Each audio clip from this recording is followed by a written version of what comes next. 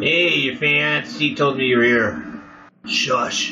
You forgot this is a library. No one here but us. It's just the same as when that guy was making clones and zombies. Okay? Just stress. Life was easier when I was in a band. Honestly, King's Complex was a sucky band. Hey, they were my bros and got turned into zombies. That's not cool.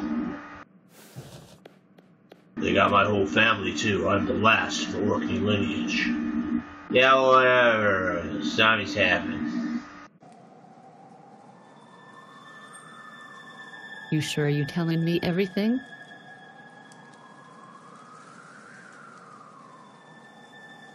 Don't you ever learn? Look, I appreciate you bailing me out, but I can't help you play gumshoe. I gotta get back to work. You mean helping these people smell of some kind of dangerous substance? The girl squad 8. You have my number if you change your mind. I'm glad you can make the time to meet with me.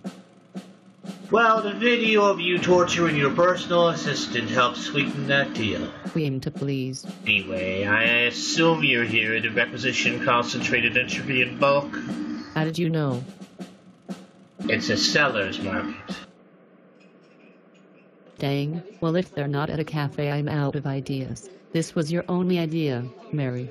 Okay, okay, I was drafted. Take it easy.